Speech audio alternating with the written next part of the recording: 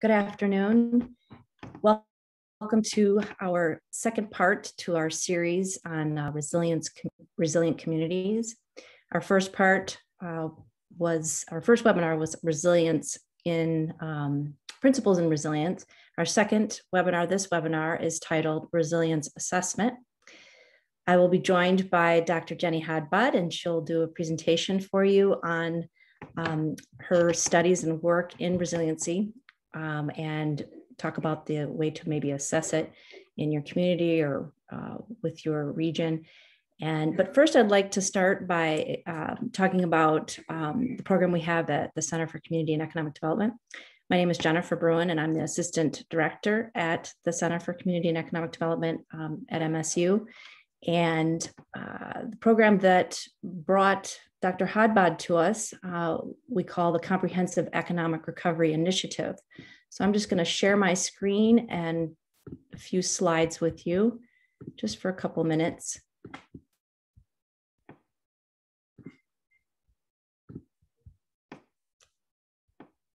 Comprehensive Economic Recovery Initiative is the title, and it is funded by the US Department of Commerce Economic Development Administration.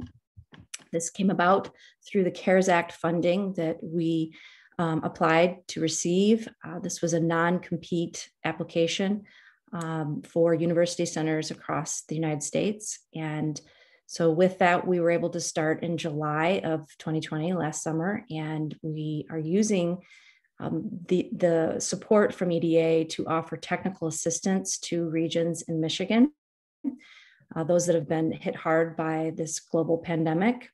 Um, we'll be able to offer this assistance through June 2022. Um, so if if you're interested in learning more, um, it is on our website, uh, MSU or ccd.edu. Um, but let me explain where this came from. We have a concept here that that we put forward to EDA, and it it starts with the idea that the framework that we have been using in the 20th century for our economic development practices and tools has been um, built around a growth paradigm and looking at GDP rather than maybe wellness or well-being. Um, and with time, the assumption was is that we would become stronger and, and a more resilient um, state. But now that we've seen with the pandemic, that is not necessarily true. In fact, we've learned that it is actually um, shown a, a, light onto the discrepancies and the disparities and the inequality that's going on in our state.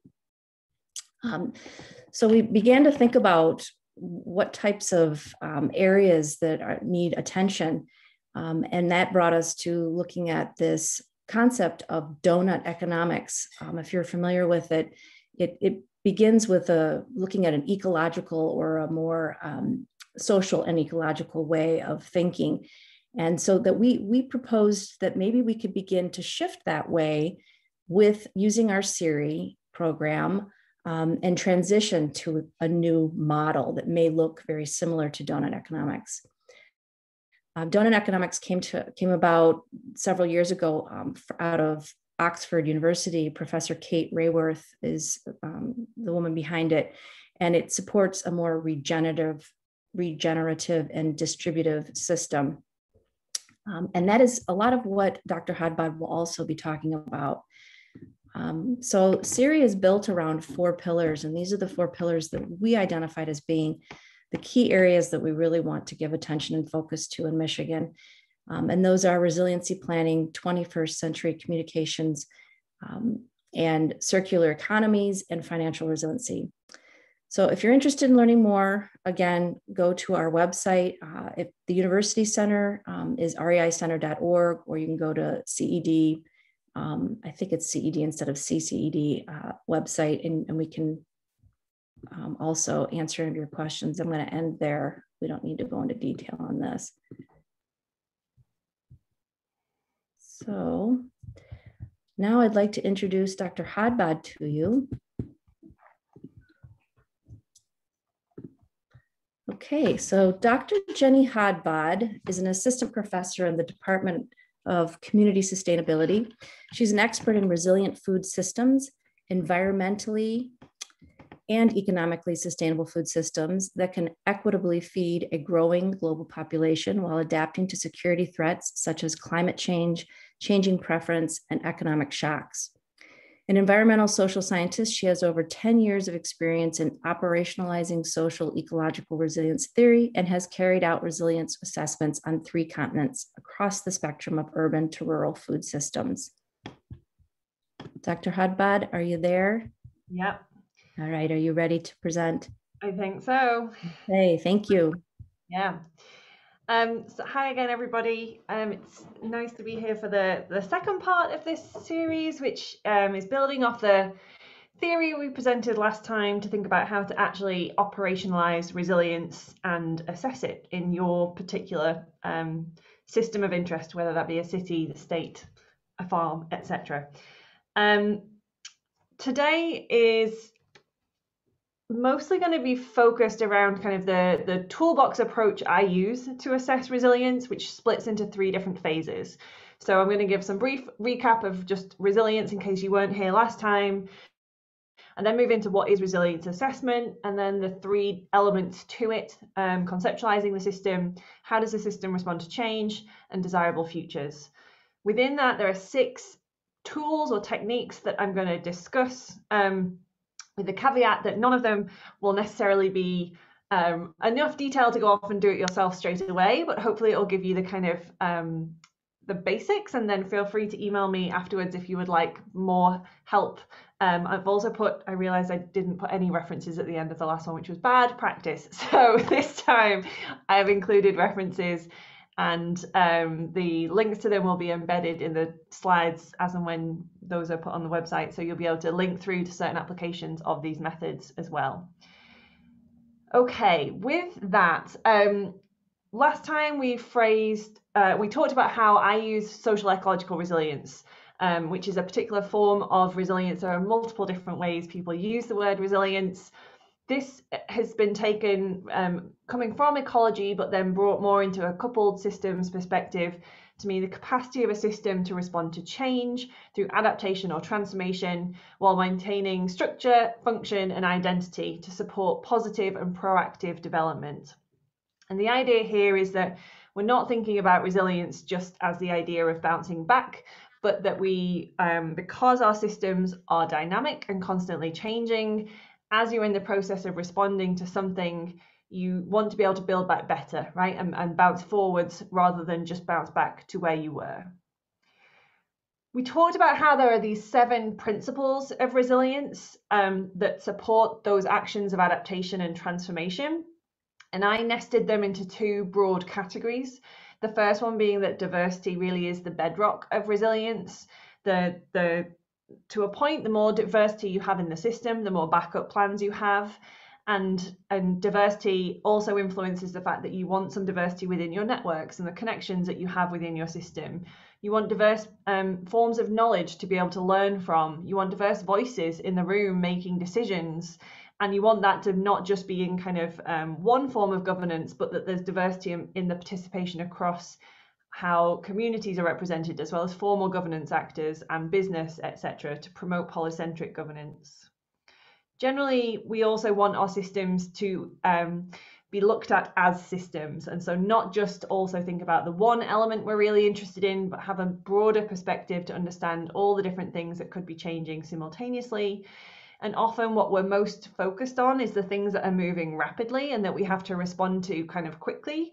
We don't want to forget that there are going to be certain slow variables in the background as well that can also have a big impact when they reach a threshold. So, for example, um, there's been you know things in the news this week, given the Nobel conference about tipping points. We're seeing things to do with ice melt that once you get to a certain point, there's no return after that. Those are the types of slow variables that we need to keep an eye on. So we ended by saying, okay, well, that's all well and good, but what does resilience actually look like? And we outlined these different types of um, processes that demonstrate resilience from kind of short term, reactive, um, coping based actions to more long term and proactive transformation. And the point here is that resilience is demonstrated if you can use coping or adaptation to maintain the current identity or if you can intentionally use transformation to change to a new identity. But if you go through an unintentional change, either you cannot cope or adapt to maintain the current status quo, um, well, that that you cannot maintain, uh, cope or adapt to maintain the current system, that then indicates a lack of resilience. And what I kind of ended on was this point that the principles can help us explain these different actions, and they apply to all three forms of action. So, really, to frame us going forwards for this session, what I wanted to start with is the point that resilience assessment is really there to identify which actions this coping, adaptation, and transformation are happening, and what principles are underpinning them or the lack of the actions, basically. A really important guiding question that, that I find really useful is to, to start any resilience assessment is resilience of what, to what, and for whom. And so I'm going to unpack that a little first. Resilience of what is really just being very clear about what social ecological system you are interested in and having to come up with some boundaries for that system. We talked about last time how systems are really complex and there's lots of different scales that will influence the thing you're interested in. But just for the practicality of assessing resilience, you really do need to draw some boundaries somewhere. So that might be, you know, if you're really interested in the impact of the pandemic, then you might say, okay, I'm interested in the pandemic on the city of East Lansing or the state of Michigan. That's you determining some kind of spatial and governance based boundary. You also need to say how long of a time period you're interested in looking at resilience of, because obviously um, that can get a lot more complicated with the longer your time period. Then we want to think about the resilience to what? And obviously, I've just given an example of that with the pandemic. But is there a specific shock that you're interested in? Or is it more that you're interested in how your system has responded to different types of shocks? That's a decision that you want to make pretty early on. And finally, resilience for whom?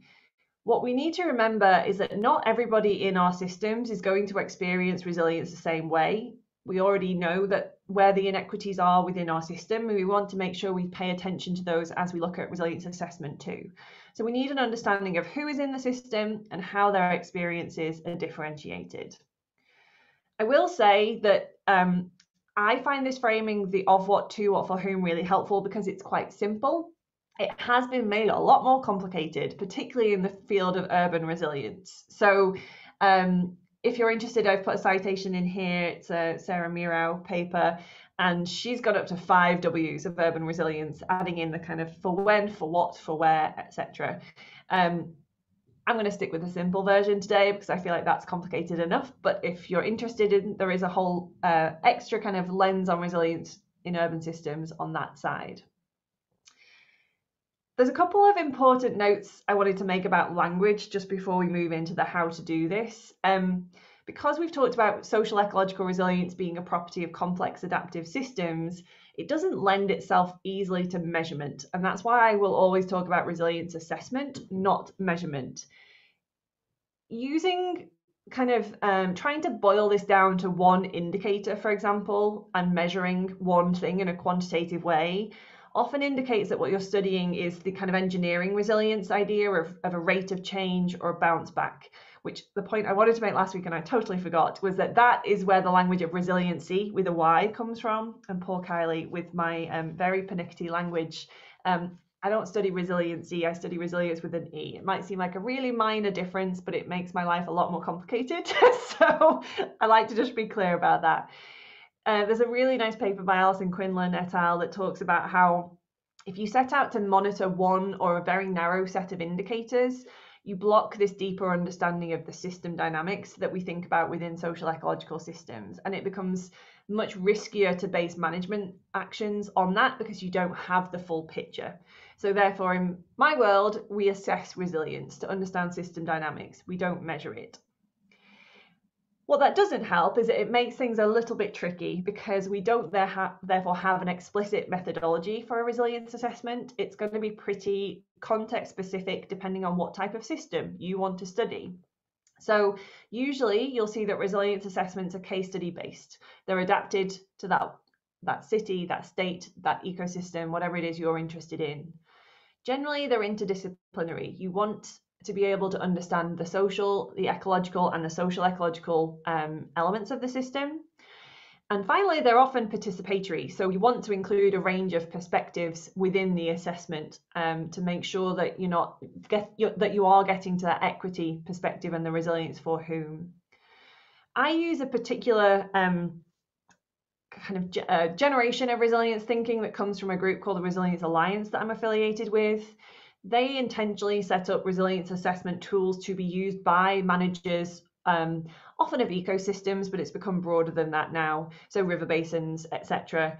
Um, with the idea that it gave a loose structure to kind of adapt with the group of stakeholders that were relevant to that system to create adaptive management plans. The idea being that this isn't a one and done process, it's something you do. You test something, you study how it worked, and you re- revise your plan, basically.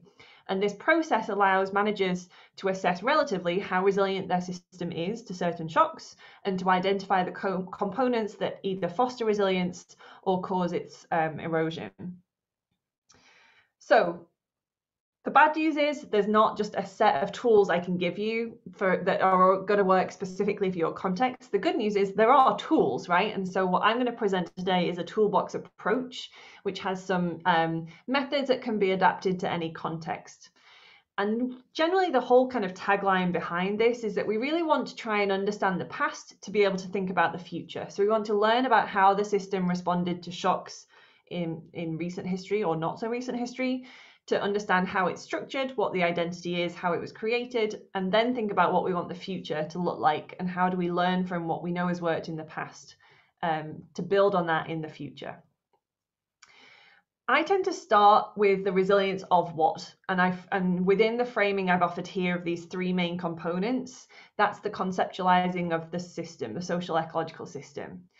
So whilst this sounds really complicated, it's it's just like what are you interested in right? Is it you know a particular city? Is it a particular you know is it a food system? Are you interested in a river in particular? Um, whatever it is you just need to come up with a certain bounded system to start off with. There was a comment in the questions last week about scales uh, multiple scales interacting and i will say that the um, caveat here is that you then need to think about what is kind of affecting your system from both larger and smaller scales. You know, a, a city might be subject to national economies or federal rules or um, bottom up change coming from individuals or neighborhoods or communities. So you want to have an idea of those different interactions too, but you just need to start somewhere.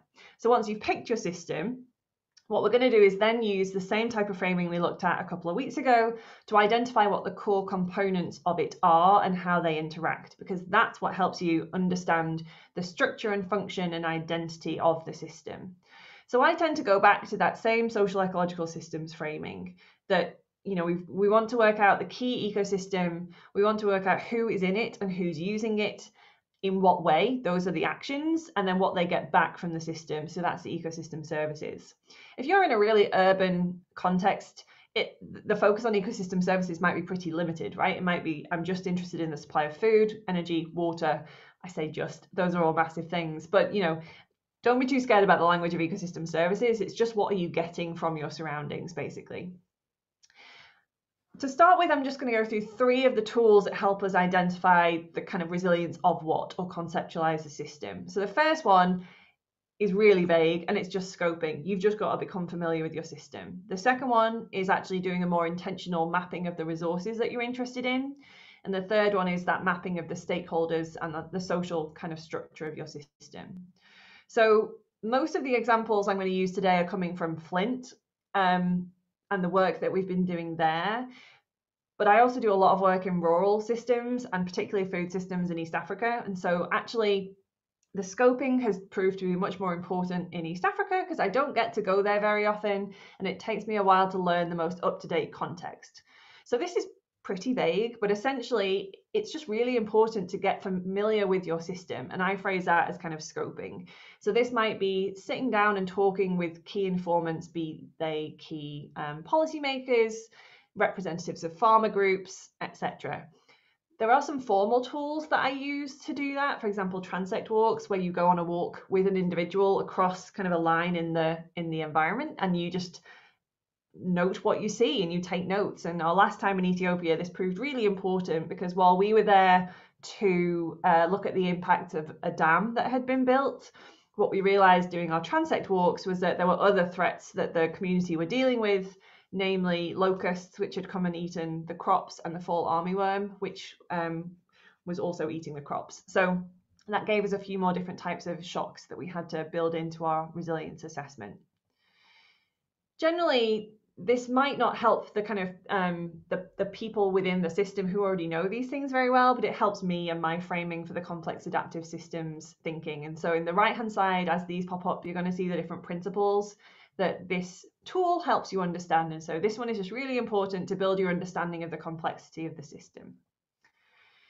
Digging in uh, more specifically, um, you really want to focus in on the ecosystem components that you're interested in because you might not be interested in all of them. Um, again, we haven't really done this in our Flint work so much. So this is an example from the Ethiopia work. But what we were interested in is how people had changed their use of the landscape since the dam had been constructed. So um, what you can see on this photograph is a picture of the a satellite picture of the river and surrounding areas that we sat in in focus groups annotated or the community annotated to say well this is where we used to do agricultural kind of crop production this area is dry now, so we grow here instead. This is where we graze our animals. This is where we get certain minerals, etc.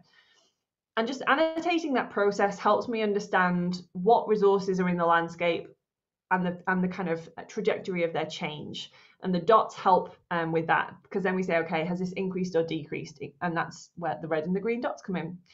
I'll just caveat, nothing I do is very complicated. So this GIS map makes it look really great. I didn't make that. That's when I pass my, my lovely annotated maps over to cleverer people than me.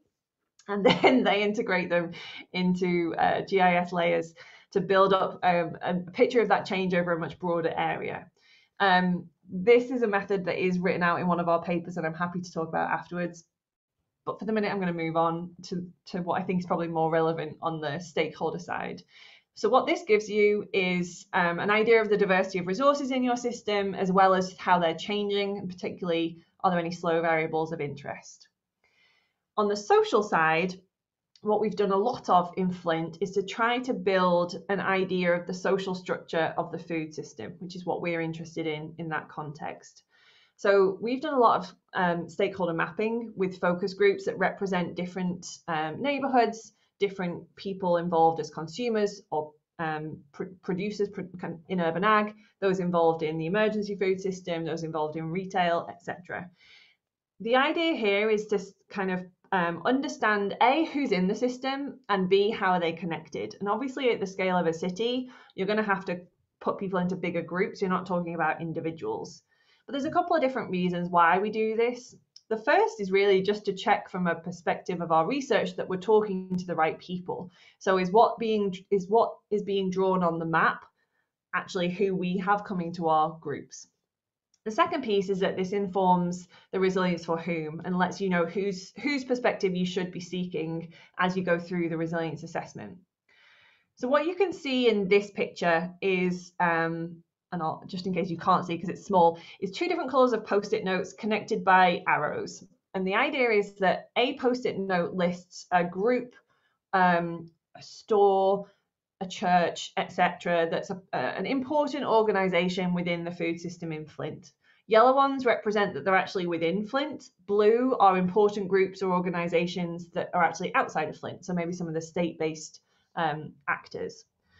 Then what we do is think about how these different groups are connected. So in this example, a blue line shows that they're connected through the transfer of food, a green line shows that they're connected through the transfer of financial flows, and a red line is more about information. The map that you can see here came from um, a group that was more to do with the governance of the food system.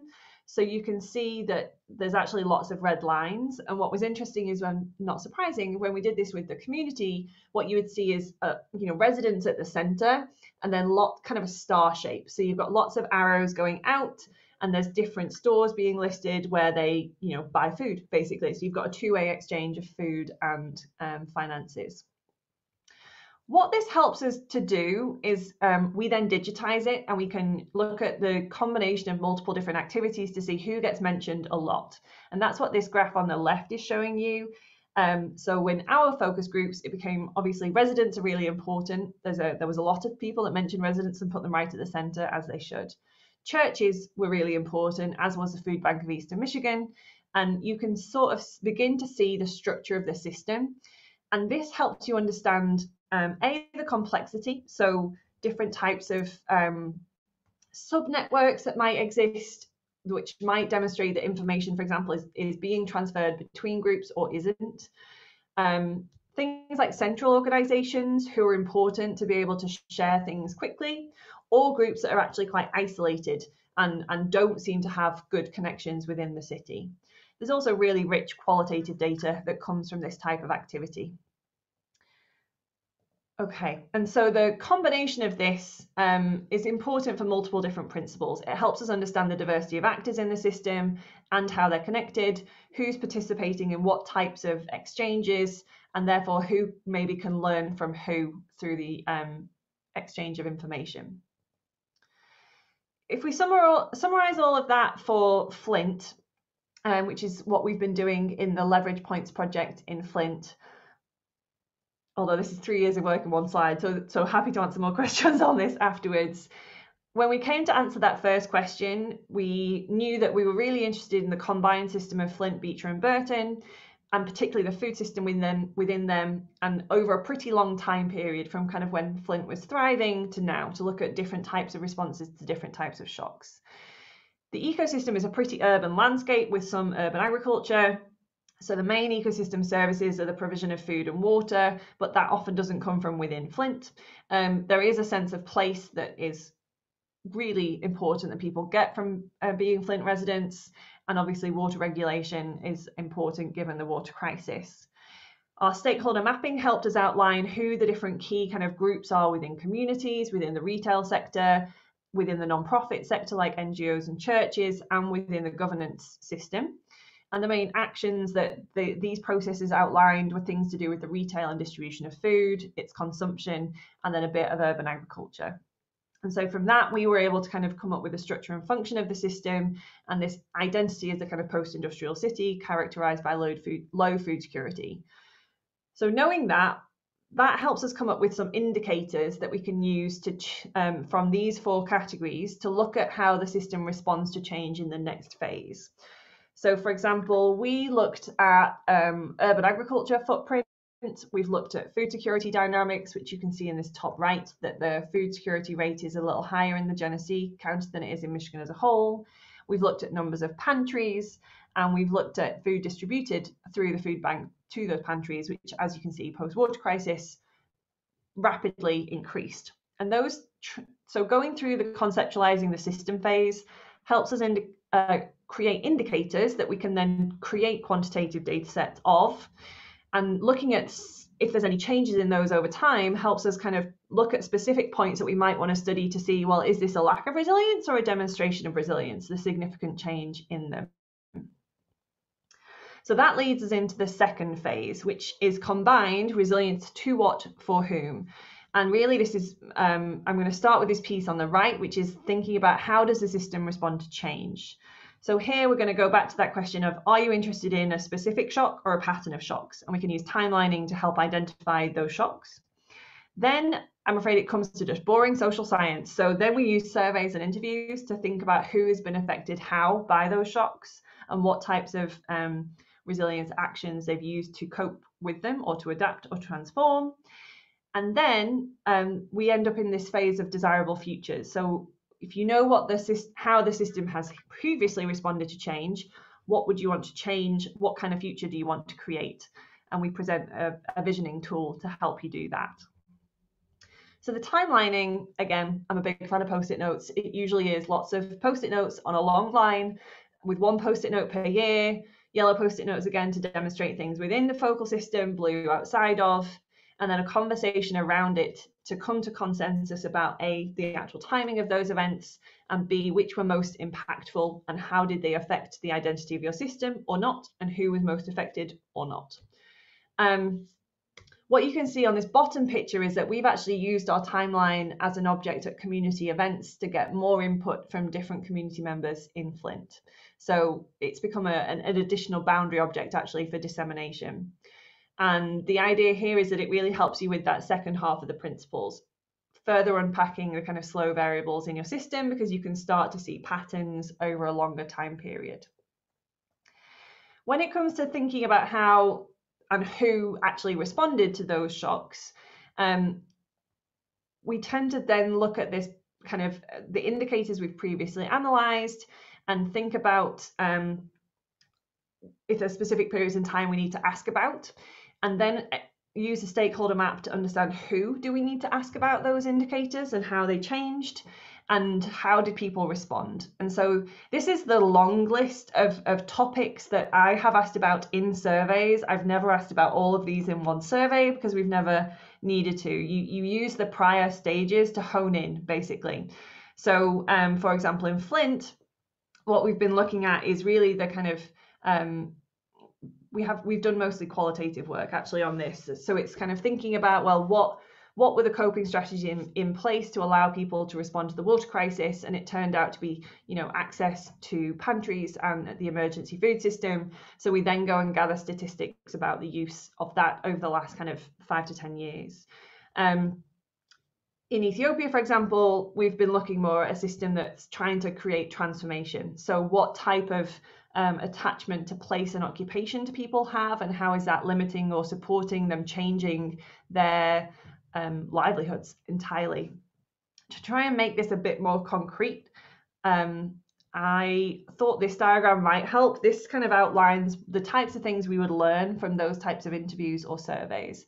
So, in an urban context, what you might find is that people are really relying on their social networks to, to cope with some kind of shock. So, um, I got sick for a week, I couldn't work, I missed a pay packet, but my mum or my friends or my neighbors are going to help, you know, feed me for the week, something like that. That's kind of relying on your social networks. The next step is to try and maintain the life you have at the minute, but you have might have to do something a bit more significant, like sell certain assets. Or you might just be able to access kind of public safety nets like the emergency food system. Adaptation we talked about as being a more significant change. So this might be actually changing your job. It might be, you know, joining or creating new groups and changing the social networks that you're involved in. From a governance perspective, it might be, you know, implementing a new rule or policy. And then transformation up at the top end of this is actually, you know, totally leaving the region, for example, to go and work in the same job somewhere else, or changing um, the types of livelihood opportunities that are around in your system. So what we see in Flint is that shift from kind of industrial to post-industrial, creates this very significantly different structure and function of the system. Um, and on that note, so here what we see from the from the how did the system respond to change phase in our Flint analysis, you've got multiple top-down shocks that are being um, implemented by people outside of the community often, but the community have to respond to. So GM leaving created this whole shift in kind of employment within the city supermarkets leaving changed the distribution of food within neighborhoods. The water crisis just affected people's trust and um, autonomy kind of within the governance system, as well as having impacts on health and well-being. So all of these shocks have led to significant kind of change, particularly in the food system, in the retail and distribution of it, and in the consumption of food. And often what our analysis shows is that costs are borne by the communities with benefits accruing to external actors but that the community isn't one um, homogenous group, that there are different elements within the community who've had to bear costs in different ways. What the, the kind of these types of uh, exercises can show you is obviously how communities cope and adapt to these types of shocks. And so what we see in Flint is that there's a real utilization of diversity within the system, within the food system, for example, in the emergency and the supplemental and the retail sector, there's really strong kind of connectivity and participation with community groups. but there are limits to what those um, principles can provide from a resilience perspective, which is indicated by the still kind of low levels of food security and dependence on pantries, and the fact that good ideas keep coming, but they don't necessarily scale up to the city level. So these types of analyses, if you remember from last time, we talked about regimes, like, and I showed a picture of kind of the, you know, the, the industrial to the post-industrial regime, for example being able to identify those regimes comes from this collection of, of tools and the understanding it creates about what shocks might have created that regime shift, how different groups responded, and which principles supported their response. Often, why we're interested in resilience is because we know we're not actually super resilient to something, or that the resilience is not the form we want, and we want to create a desirable and resilient future. So, this kind of desirable futures piece is really um, has in mind acknowledging there will be shocks in the future, but thinking about what shocks and how you want your system to be resilient to it in the future. So in our Flint case study, um, we used the stakeholder map to inform um, who we should go talk to about visions for the future. And we held focus groups to um, co develop kind of values as priorities for a future food system in the medium term, kind of 2030, I think. Um, that was a pretty traditional qualitative discussion. And so what we did was code those the qualitative data that emerged from it for values. And then we used a ranking tool called QSort to help extend that to a much broader group and understand whose priorities are different because not everybody's going to have the same set of values for the future within a system as big as the Flint food system. So this can help us understand who has values in common, who has diverging values, and start to come up with scenarios for how to achieve some of those values. You might not achieve all of them. Um, and that's where the Flint project is actually going to go one step further than that and embed that within participatory modeling to, to identify scenarios to achieve those futures. So the questions that we asked are pretty generic. And then we had a lot more specific questions about for different people with different roles in the food system. But it was things like what do you appreciate about the food system and why? What worked well in the past? What didn't work well in the past? And what would you like to see in the future? And this protocol is actually written up and available on the MSU um, Flint Leverage Points project website, which I can share the link to afterwards. It helps with all the principles i'll be honest. It just is more information but kind of within a future sense rather than looking backwards. Um, and what it did for us was allow us to identify 17 values that were were across all of the focus groups. And it showed that actually most people's values within food are actually really embedded within social welfare. And so what we could do was kind of think about then how to build this into our participatory modeling and the idea is that the visioning helps us create scenarios, which are kind of pathways to these futures and to a future that achieves these values. So then we can integrate the stakeholder mapping to say, okay, well, who can who can do what within those pathways? Who has the tools or the knowledge or the connections to start implementing steps within that pathway to get to this future? And that's where everything kind of comes back together.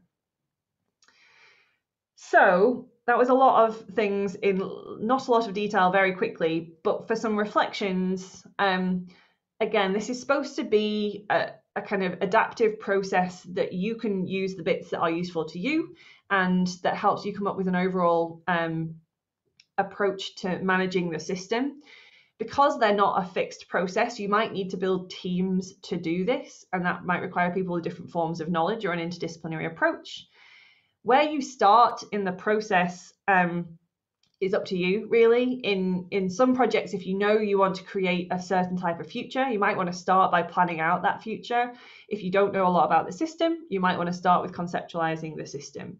But the whole point here is that it's iterative and this should be sort of creating a way of a different way of thinking about our systems that is one where we continually integrate monitoring and evaluation. And that's why there is an arrow from the desirable futures back to the conceptualizer system because once you start on a pathway towards a future you need to check into how it's actually changing your system and how it might or might not be changing how the system responds to shocks. Um, and then finally, just because we're not quantifying something or measuring it doesn't mean this isn't useful, right? It's giving this process gives you a ton of different types of information, which is really useful, including things you can measure, like those key indicators. So um, the point here is to build up a kind of diverse knowledge base, which allows you to understand why some things create change and why other and why others don't. And that in itself builds up an idea about the resilience of your system. So other people have thought about this in a much more um, easily digestible way than me, possibly. One of the tools I would recommend is this Wayfinder website, which has been built with colleagues in Stockholm and at the Resilience Alliance in Australia. Um, and it really is intended for um, non academics, let's put it that way, managers, planners, community groups to be able to navigate towards a particular type of sustainable and resilient future it follows a similar series of steps, you know, building a group to create a certain type of change, creating a shared understanding of the system and of the future you want to create, um, understanding the system's dynamics, etc. Highly recommend having a look at that. If you, you know, obviously these are the citations that are more kind of academic, but I'm happy to share other ones um, if there's specific things you're interested in. And hopefully this gives us 20 minutes for questions. So I'm going to stop sharing my screen. And Jen, any comments just while I scan the Q&A or? Um... Sure, go ahead. Let's check the Q&A. There's a couple of questions in the chat as well. Okay, all right. I have, I have, I have both up here. Um, I'm going to do the ones in the chat first. So, yes, nested systems. We like those a lot. Um, how is the pandemic? In, oh, Anne, what a what an excellent question. Obviously, the pandemic has really impacted engagement work. Um, we were in the middle of those Q-sort interviews, so asking people to rank the values that we'd elicited in group work, and that had to stop basically because it wasn't we we were particularly focused on doing that with food insecure populations and we it wasn't obviously um, at that point appropriate to go and do face-to-face things at pantries etc as they were changing their model of food distribution as well so a lot of our work sort of paused for a few months while we regrouped certain elements have been done remotely. So I think Chelsea's on the line. She's one of our um, colleagues on the Flint project who's been doing a photo elicitation project to understand how people's interactions with food changed through the pandemic. So they take pictures on their phone and they text them to us, and then there's a kind of interview over the phone or Zoom at the end to kind of unpack some of the meaning of those photos. Um, I would say generally our engagement has become more individualized rather than group based, just because it's it's hard to get a lot of people in a Zoom call from certain communities, and that's totally understandable. And it sort of slowed down a little, but we learnt and, and we adapted over that process. And so there's some really cool stuff happening um, at the minute from multiple different groups across campus and, and uh, broadly. Environmental justice. Um, so my interpretation of environmental justice is to embed it in the resilience for whom element. Really, what I'm trying to get at with that is that there are going to be that we know there are already inequities within our systems, and we often need to really work hard to make sure that we're giving voice to the people who are most marginalized, who might not usually be the loudest voices in the room. And so doing the stakeholder mapping plan at least helps us check our assumptions about who is in kind of what type of power dynamic basically to give us a, a, focus on on who we might need to make a specific effort to go work with or get the opinions of um, generally this this piece about resilience for whom is reacting to a critique of resilience theory coming from ecology where often what you would have is sorry to anyone that works on lakes, but a lake that people were like, okay, we have a an ecological resource we need to manage, and there's you know one manager that we need to work with to make sure we understand this system. But in reality, that lake might have been used by a multitude of people for different reasons. So a lot of the early resilience assessment work was we should work with this one manager and find out their impact on the lake and, and assess the resilience of the lake the last 10 15 years of work has said actually that's not the most important i mean it's important but it's not the end of the story right what you need to do is say okay well here's a person or a group or an organization or a policy yes they had an impact on an ecosystem or a social ecological system but how did that impact then affect all the other groups who use it and try and and it makes the resilience assessment a lot more complicated but by really being intentional about unpacking that resilience for whom we have a much better idea about all the different ways that that change affects different groups and and loops back around to change the ecosystem again. Um, there's a question about the scope for doing a resilience assessment, and yes, too big gets really difficult just because um, of that point about for whom. It can be very difficult to include all of the diverse voices It doesn't mean it shouldn't be tried. I think it's just having to be comfortable with certain levels of of grouping because you're going to have to, right? You can't talk to every individual in a city. So, um, for example, in Australia, every river basin has to have a resilience assessment now, kind of on deck, um, and and update them every four or five years, I believe that's a really big scale for me for, for a resilience assessment, but it's obviously working. I would say the, the the level I've probably been most successful at is um, community level, where you then can start to break down your community into certain subgroups, but you're pretty confident you're going to get to talk to all of them at some point through the process. Um, still, the and your final question about resilience of pandemics my god there is going to be a lot of resilience studies of pandemics there's already been a huge number of publications which i find really I'll be honest, a little frustrating because we're in it. It hasn't finished yet. And so, the one thing I would caveat is that resilience assessments take a lot of time and they benefit from a backward looking perspective where you can see the, the kind of dynamics play out. And these dynamics haven't stopped playing out yet. We're still in a, in a pandemic. So, for example, the, the types of pandemic studies that I think are more appropriate are things to do with um, there was some to do with the resilience of the meat value chain, to do with the impact of certain closures of processing packs, packaging or processing and packaging sites.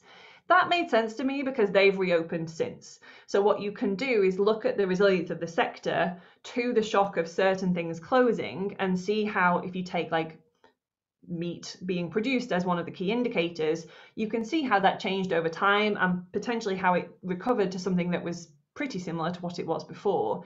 Those types of smaller scales are easier to look at because the time scales are smaller. The, the bigger your spatial or governance scale that you're trying to look at, like the resilience of Michigan to the pandemic, I would say it's too early yet to really understand that. But one of the things that this should have been teaching is that we should be ta- keeping track of all the data we can now so that when we do look back on this in a year two for five years time we have all the information we could. Okay um, evan yes kumu is my favorite website. It is um, kumu is a um, a networking kind of website so it's if i had showed you the picture it, it's kind of cool because the balls bounce and those things are exciting to me. So yes we um, what we can do is make a spreadsheet basically with the post-it notes on and then you upload or you can do it directly into Kumu and just create a new blob for every post-it note. But what it gives you actually is that spreadsheet feasibility at the end that then you can download and it gives you certain network characteristics within already. Um, so you can identify the most central nodes between the scores, etc. It also just looks fun. And so when you're using it as a kind of communication tool, it's neat because it gives you things you can embed in websites, etc. Okay, what is the relationship or difference between resilience and regenerative development? Um, that's a great question. They're just different in my mind. So, resilience is a system's property. Whether or not the system is regenerating or eroding or such, it will have it will have some form of resilience, kind of high or low. And so regenerative development, one hopes, is going to build the resilience of your system in a desirable way. but the resilience will be there what like it, it it's a system's property so good or bad there will be some form of resilience or a lack of it. That they're just kind of slightly different. The resilience is something where you think about the system as a whole. The regenerative development is you being very intentional about what you're trying to build within your system i think. Um, that's not the best answer to that question. I'm going to try and rephrase that in a different way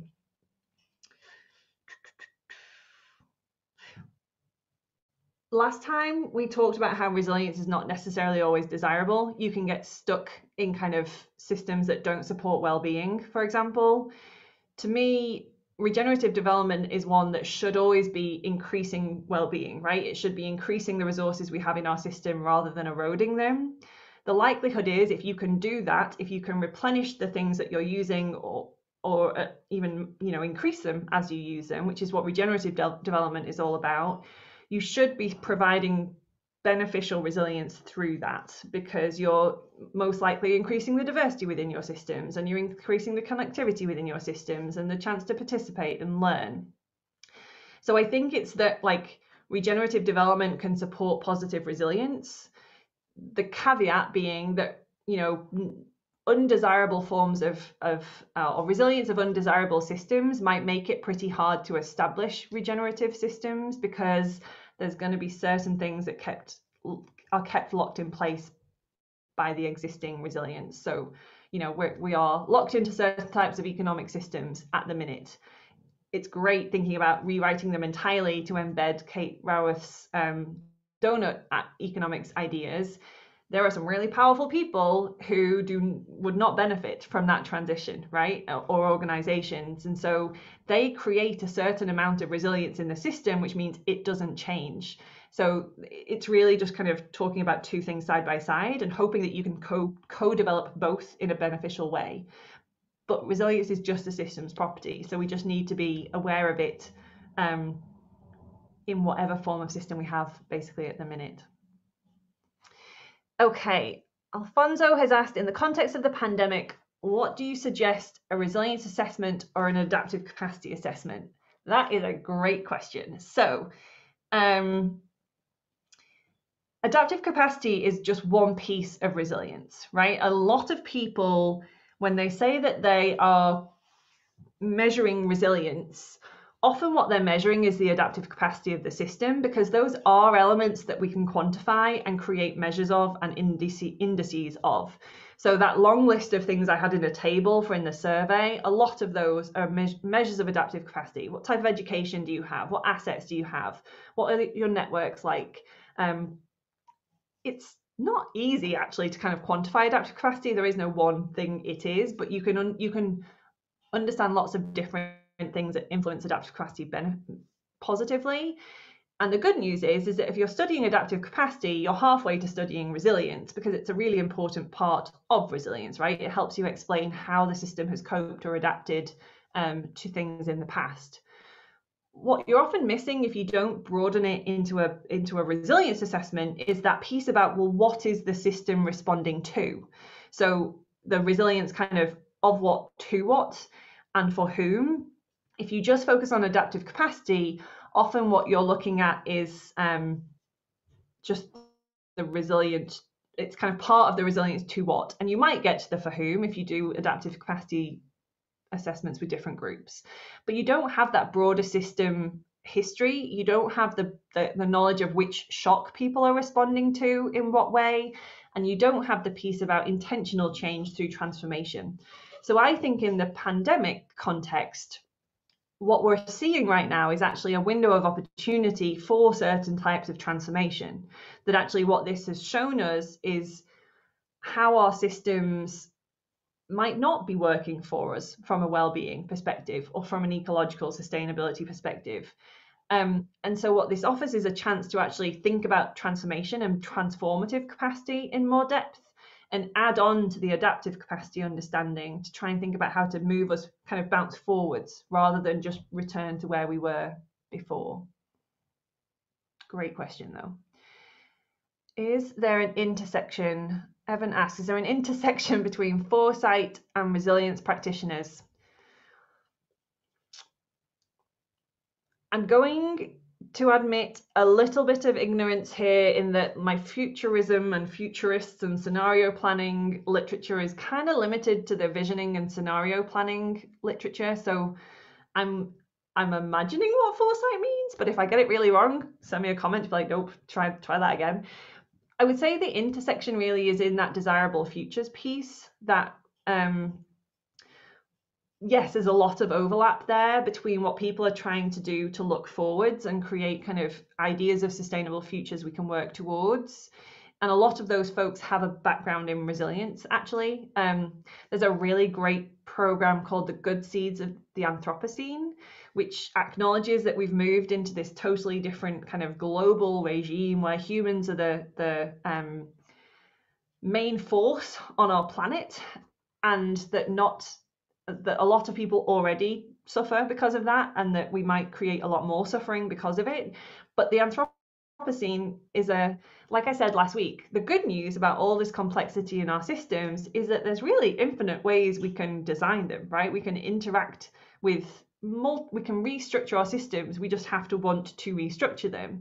So that piece about scenario development and kind of future thinking and desirable futures in particular is really trying to build on that and, and embed this idea that that resilience thinking offers an opportunity to reimagine our futures and, and say, yeah, we might be locked in, but at least we know how we're locked in now. And here's how we unlock that and create kind of a reorganization in our systems. So I think, yes, there is a lot of overlap. Specifics, I don't know happy to be told more about it um, and learn more about it. And this last question is just excellent. Um, I feel like I should say the economic one, but let's face it, it's a, it's any form of strange matter donut because I'm in England at the minute and it's been five months since I've had one. And England does not do donuts well, don't tell them. But um, yeah, any kind of donut from strange matter would be fine right now in my life. Oh dear. Those are some great questions though. Thank you everybody. Yeah. I, I actually I have something that I wanted to yeah, yeah. ask you is that this this idea of um how do we learn from the past? Mm-hmm. I mean that almost seemed like that was a problem right from the beginning of this pandemic. So how do we learn better? I mean Oh gosh, the million dollar question. Um billion, trillion. We've been through that. I think I I think one thing is just kind of availability of information. I think what the pandemic highlighted really well is that our systems have become so complex that we often don't know how they work.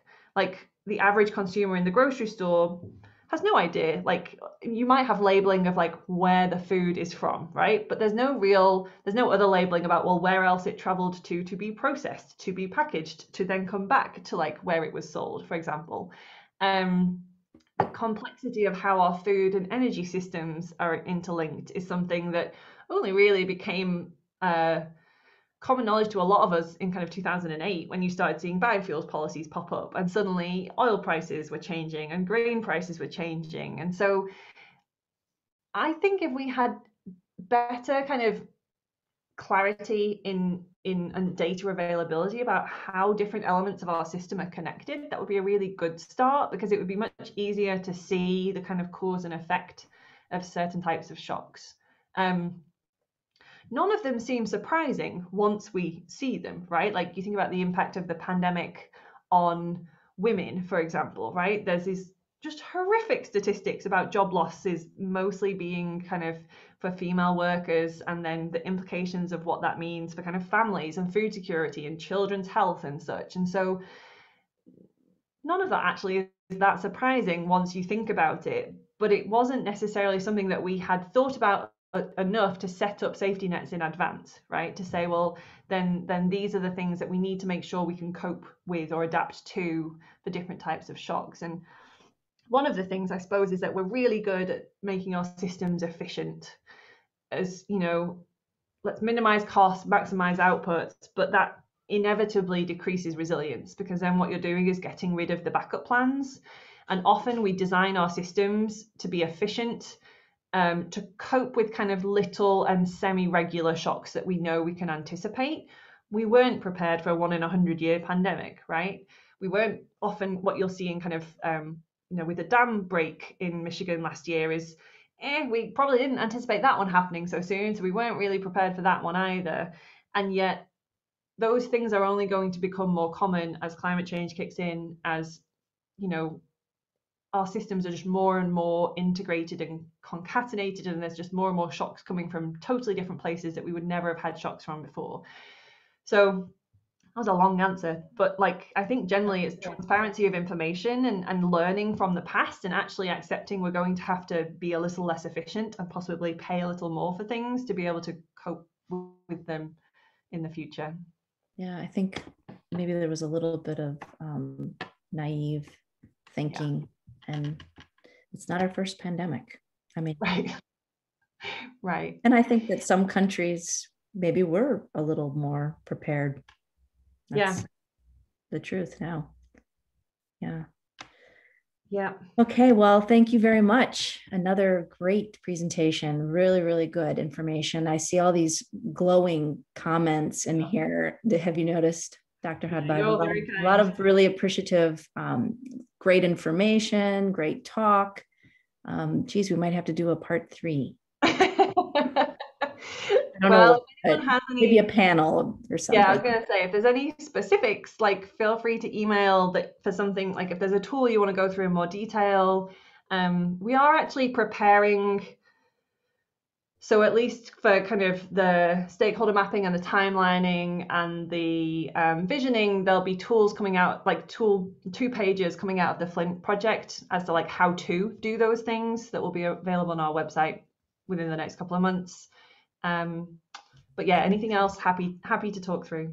We can um, grab those links from you probably once they're on your website and, and share them and yep. send out maybe a follow up email, and we'll also add them to the CIRI website and and get that information out because that's the, really the the nuts and bolts, right? The tools to do these things. Yeah. Yeah. Okay. I don't think there are any more questions. There was one just about the slides and the recording, and I guess that's going to be on your website, right? Yes, the first session is already on our website. Um, okay.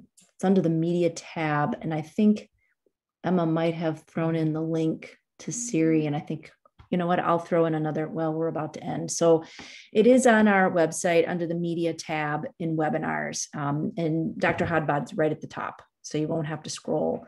Um, and we'll add this second webinar to that page once it's transcribed and, and ready to go. Um, we'll have both of them up there and we'll be sharing them through social media if you forget to check back to the website. Great. Yeah, very good. Thank you right. so much. Yeah, thanks Lots everybody. about here. Yes, indeed.